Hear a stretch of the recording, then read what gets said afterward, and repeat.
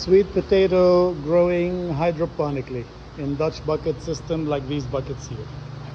Look very nice. Look at the size of some of these leaves. Big as, as my palm. Getting lots of fertilizer. But what's that over there? That is spider mites. This is late uh, advanced stage of infection where if you come close you can see the webbing. See right here? Right here. You see the webbing? The speckling? And if you go to this side early stages. The beginning of speckling.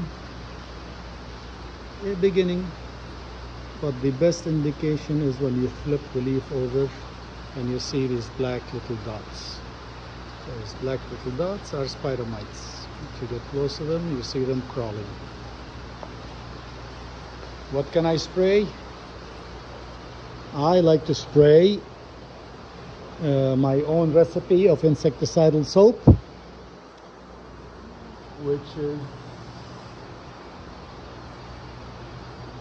this is a distant view which is um,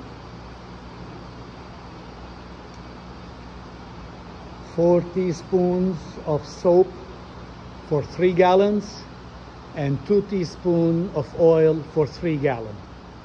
so you fill your backpack sprayer to a three gallon mark four teaspoon of liquid soap two teaspoons of oil the cheapest oil possible. You have to spray often and spray up and down and cover the leaves and lower.